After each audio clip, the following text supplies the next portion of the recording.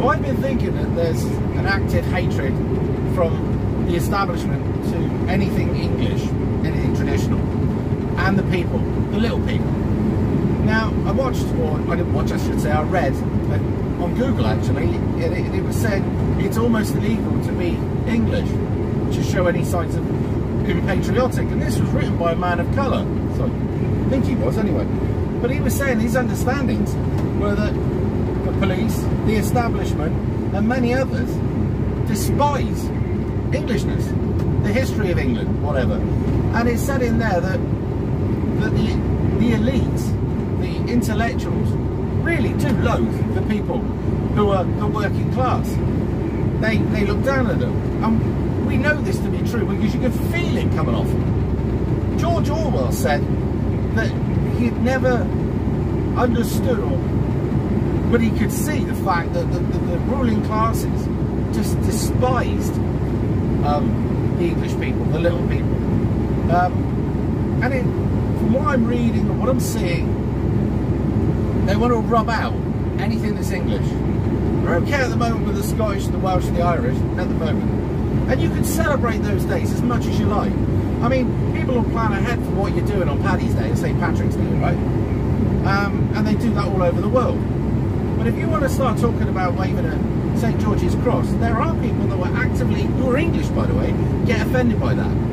That shows the level of insanity within these people. Why is it you loathe that? There are people that can look at that flag and get the same feelings they would do looking at a swastika. And I don't, I, I can't compute the level of weapons grade dumb that these people are, but they are. Now, for years, the, the, the, left have been preyed upon. They've been used as uh, the Trojan horse to effect change. Because they were naturally, when they came out the womb, caring people, and they wanted to do the right thing, many of them, right? Then the manipulative, psychotic, sociopathic creatures from the system used them uh, and indoctrinated them to believe that anybody else who wanted to hold on to their culture, their traditions, was literally an ass. Now there is a gap between the two, and it's a slow gap, but either way, right? They, they can link nationalism. They say, oh, these people are nationalists. Hitler was a nationalist. Do you know, it'd be interesting if you actually had a look at some of the speeches. They've uh, put it into English. There's some interesting speeches there. I'm not saying that I condone the man or anything like that, but if you look at the, the speeches he made in 1939, they're very similar to other speeches that have been made at the moment. But I digress. There is a, a definite, or there has been, especially over the last 70, 80 years, a push from the Marxists to destroy the capitalists, right, in many countries. It's not just here. They did it in America, they've done it in many other countries, right? And they, they try and eat away at the people. They try to change the people. They try to tell the people they're oppressed. They try to tell the people that, you know, that their culture is a bad thing. They try and tell the people that religion is awful and that religion's got you to where you are now. So everybody gave up religion and look what happened. I, I'm going to come off that, what I will say is that Marxism wanted to destroy the capitalist West so that it could put Marxism in place. Moreover, a socialist country, right, under a communist banner. That's quite a lot to take in because I always thought socialism, socialism communism was communism. But why is it people from within communist countries make speeches and say, our great socialist state? That's for them to explain. Whatever, that's neither here nor there. What I've understood is also that these people have also helped Islam come in to help do the job as well. What they don't realise is that if Islam gets its way, then you won't have what they want. They'll be tossed aside. A bit like actually the people that help put socialism in place. Usually what happens is when you help to put socialism into a position of power, they then kill you. Reasons?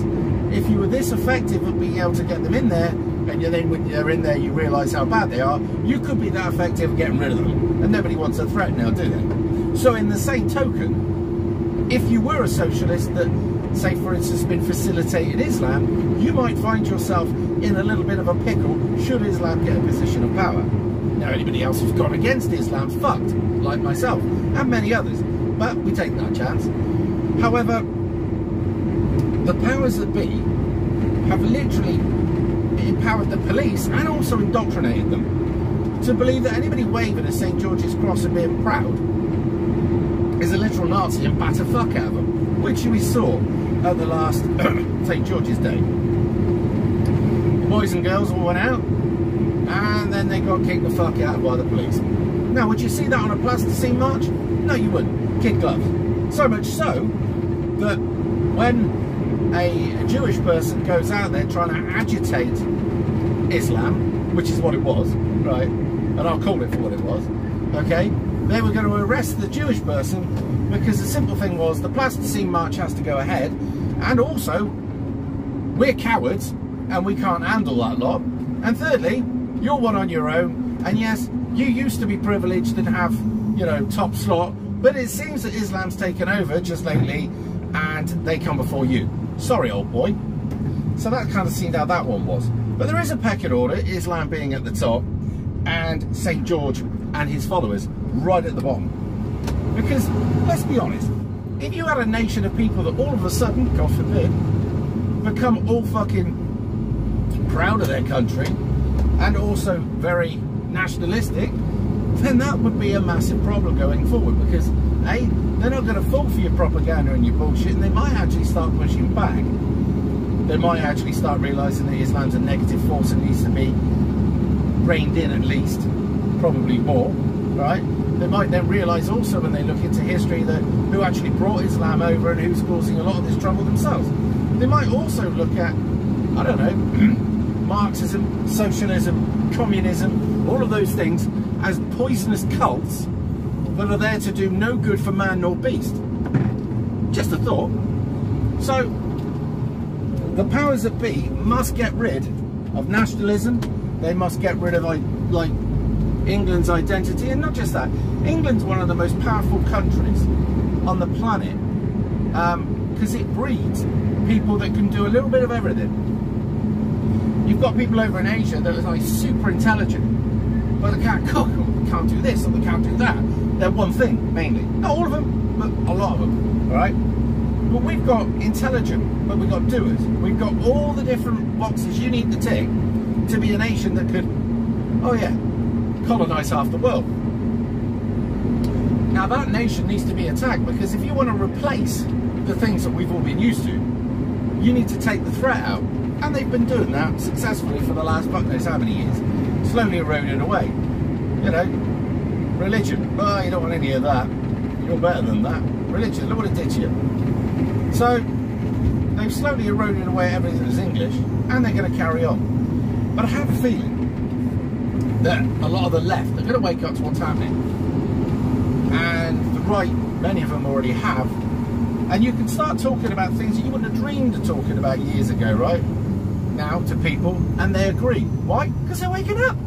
This is a massive threat to the system, I can't tell you. Operation Looking Glass that went on for years realised in 2012 that the end goal wasn't going to be the, the position of power. It will be uh, will, well, well, wielded forever, I should say, by the system. It worked out that it was going to lose control.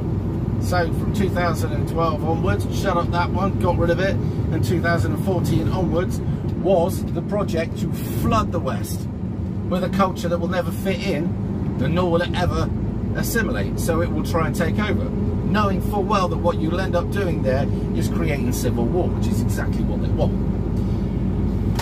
Why would you do that? Well, if you can't get your own way, you might as well take away your ball, ball and fuck the goalpost. And that's where we are. But that's why you'll see local councils banning the fucking St. George's flag, police wading into anybody showing any levels of nationalism or love for their country, and this is going to carry on.